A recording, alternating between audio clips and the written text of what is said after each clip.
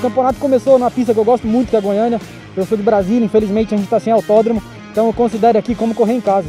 Então a gente costuma ter bons resultados em Goiânia, começando o campeonato muito bem, com uma vitória, uma pole, mas a gente sabe que o campeonato ainda é longo, é só uma parte, então hoje eu tive que correr com a cabeça, economizar um pouco o equipamento, estava muito quente, é, o carro estava trabalhando no limite, então no, do meio para o final procurei economizar para a corrida de amanhã, que a gente com grid invertido, tanto um carro bom quanto uma boa quantidade de push vai fazer a diferença amanhã para somar mais bons pontos para o campeonato. Desde o primeiro dia que a gente resolveu fazer mais um ano de Stock Light, o objetivo é ser bicampeão, a gente vai entrar e sair do autódromo independente do resultado com o mesmo objetivo.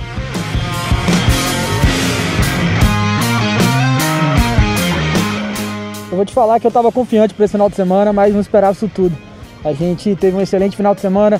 Eu costumo falar que quando o carro desce para dar carreta bem, o final de semana acontece bem.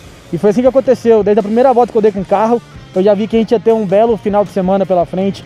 E assim foi, a gente liderou os treinos, fizemos a pole e ganhamos as corridas. Então eu estou muito feliz, muito contente, saio de Goiânia com, com um sorriso no rosto.